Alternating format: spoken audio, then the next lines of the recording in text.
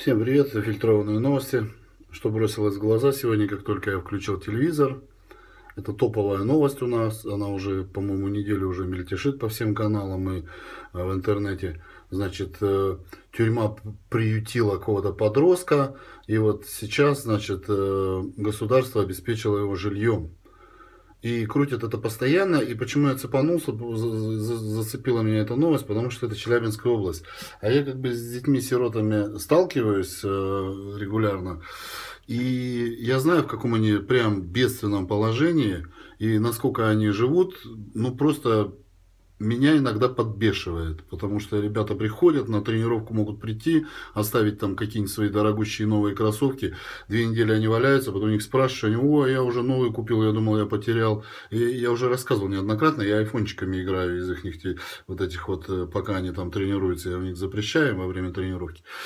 Ну так вот этот бедный несчастный, я не стал вникать, но насколько я понял, 4 года он уже отрубил, а, значит, э, я не знаю, что за совершение, за, за преступление надо было совершить, чтобы 4 года. Лень, честно было. Я просто вот э, сам факт, что вот эта вот лабуда, которую сейчас пытаются рассказать бедные, несчастные, сироты, они ничего не получают. Они в, таки, в таком шоколаде сейчас плавают. Но это не жаба. И, и я просто хочу сказать, что государство выращивает трутней, просто конченых трутней. И, и я вам хочу сказать, что вот все, с кем я сталкивался э, по детским домам, они в тюрьмы не идут. Потому что они даже воровать не умеют. Они ни хера ничего не умеют, но они ничего не хотят. Вообще. Максимум это они идут дворниками, э, это они идут там кондукторами э, в трамвае работать, э, в трамвайной парке. Вот это максимум, на что они способны.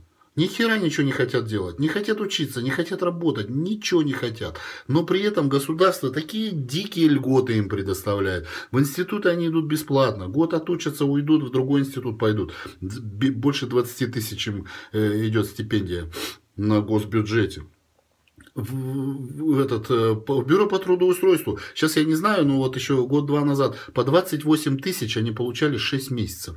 После выхода, после окончания, э, вот из детского дома выходят, они идут в какой-нибудь прикормленный какой-нибудь колледж, э, который там выпускает, э, просто раздает, дарит эти дипломы там каких-нибудь каменщиков, там э, столяров каких-нибудь, табуретки их там научат, камень класс научат и все.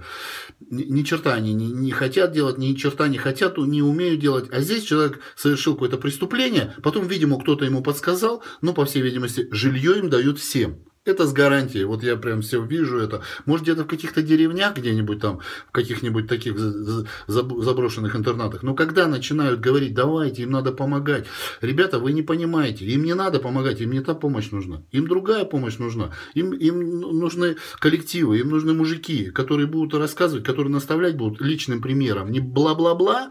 А, хотя преподаватели, конечно, молодцы у них. Они тренируют, они их эм, занимаются с ними, они обучают их, они что что-то им дают, замечательно, но выходят на выходе трутни, которые ни хера не хотят делать. И они присасываются везде, присасываются к церквям, присасываются к баптистам, присасываются к каким-то этим э, всевозможным голландские вот эти вот, э, как они там называются-то, господи, э, хрен с ними забыл. Вот приходят, просто помогают, просто которые что-то дают. Им нужны люди, которые что-то дают. Больше им ничего не надо. Сами давать они не умеют, их никто этому не учил.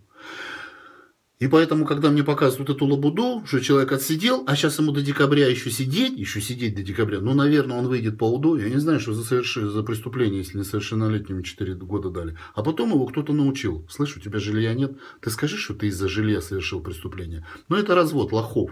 Причем его закрыли, теперь ему дали, не выходя с тюрьмы, где-то здесь он в Челябинской области сидит, ему дали жилье. И теперь по всем ящикам, это я сейчас смотрел по НТВ, показывают, что ему нужно собрать, э, э, для, вот он сейчас выйдет, и ему нужно обеспечить э, бытовой техникой, э, мебелью и все. Их всем обеспечивают, сука. Им все дают. Они заходят в эту квартиру, там уже стоит компьютер. Они садятся за этот компьютер.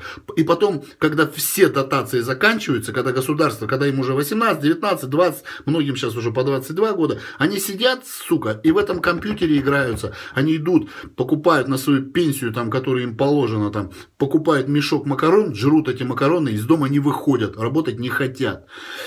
Вот.